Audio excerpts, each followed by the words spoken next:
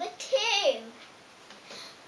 And today, um, I have put it in an incubator so that they will stay at the right temperature and not die because if I don't, they will get very cold.